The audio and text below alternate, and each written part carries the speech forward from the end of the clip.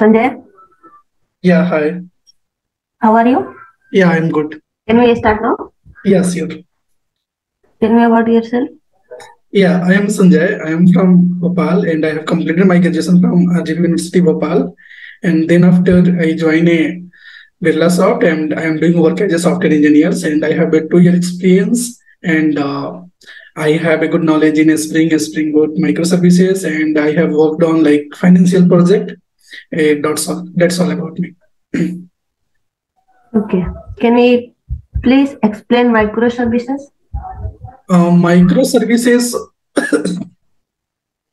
basically uh, microservices is like um, uh, it's a one of the architectures so in microservices uh, we have to break our project in the multiple modules and uh, those modules we have to make as a one one microservices and uh, those microservices we have to deploy in the independently independently developer will do the work on that and then after we can uh, use it. So we can communicate one microservices to another microservices, and uh, those are the architecture we can say basically. And uh, while accessing a user to the microservices architectures, we are providing a one API gateway in that uh, they will do the validations and authentication, and then after based on the request, we can call those particular microservices, and we can done all those operations related to the customers. Yeah, that's all. What is circuit uh, breaker? Circuit breaker is also we are using while using a microservice architecture. So circuit breaker is basically, uh, for example, we are like uh, traffic is coming from the customers and we have to switch from one traffic to another traffics or uh, we have to provide uh, like load balancers like that. So we can use that time as circuit breakers. What is the purpose of collection concept in Java? Collection is basically a framework in Java.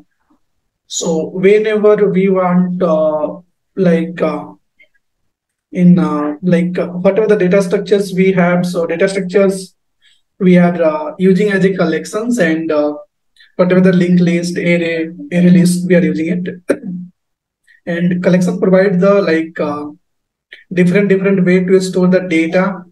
And we can utilize to maintain our data with efficiency.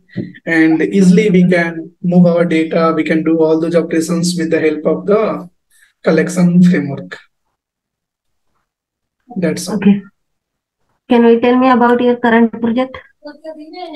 uh, my current project is uh, financial related so we are doing work on the one finance like uh, if people's uh, going to the hospitals and they don't have a amount to pay so they will take uh, some uh, loan like that and they will do the finance for that and uh, once they will do the finance uh, we can uh, provide them like what is the monthly they have to take for the 12 month or 36 month or 24 month based on that financial we can uh, provide a monthly what is the EMI they have to pay and uh, they will proceed with the EMI. So based on the like whatever the citizens and uh, they have a Aadhaar card or voter ID card. Based on that, we have checked the locations and uh, based on that, uh, we are providing a loan to that people. So they will uh, pay the bill to the particular hospital and they will do our treatment. So this is the financial product uh, we have providing through the in our project and we have uh, using the technology like uh, React, uh, Spring, Spring Boot, microservice architectures, and uh, we have some services called um, Net CSS, Token Component, IHS. So different different type of the modules we have, and based on that, we are creating them, providing the like financial freedom to the customers. Okay. What What is the stored procedure in MySQL? a store procedure like um, uh, in the one operations we are trying to store some data in the multiple tables so we can go with the store procedure because uh, if you go with the normal query we can store data in only one table and maybe we have to write the lots of the big query to store multiple tables. So we can go with the procedure or function and based on that we can store data quickly in the database and those function we can reutilize uh, reuse it uh, multiple places.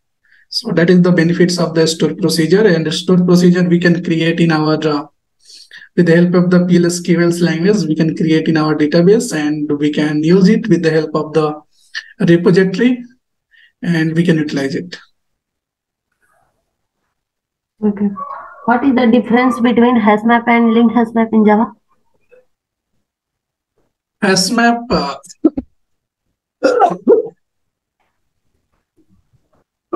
hash map like uh, we can store the data as a key value pair and they will take uh, one key as a null and multiple value as a null and we can store key as a unique key so it will not store the duplicate value. In value we can make it duplicate no issue and uh, if you talk about the link hash map so link map hash map will store the data in the same way but internally they have a connection between one uh, node to another node and uh, they will proceed with that. And so that uh, in the link uh, hash map uh, based on the insertion order your data will be stored. But uh, in the hash map there is no order. It's a default order. They will prefer to insert the data. And it will do the internal sorting also based on the key. Do you know about the Java 8 feature? Yeah. In java 8 features they have come up with the multiple apis and with the help of the api they have tried to make uh, our code more efficient.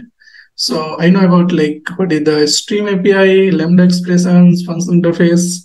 With the help of that uh, we can do the operations and um, we can make our code more efficient and more faster.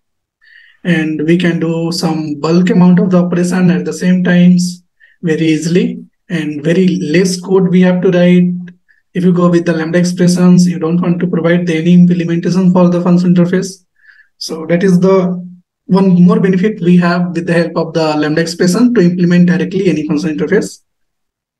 And uh, after that if you go with the stream api so they will provide lots of the method to proceed with our array or whatever the list of the data we have, and we can filter it. In streams, we have some map or uh, uh, flat map. Then after we have a, something called uh, filters and sort, reduce, everything we can do the operations.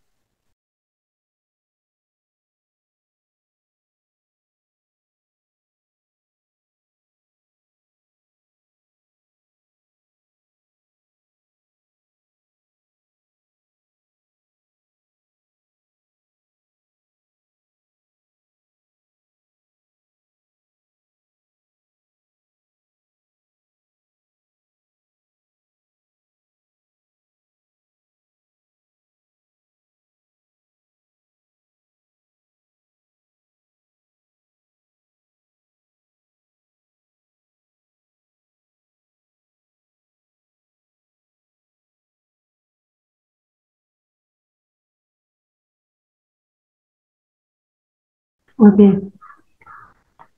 Okay, I have done from my side. Do you have any question? No, I don't have.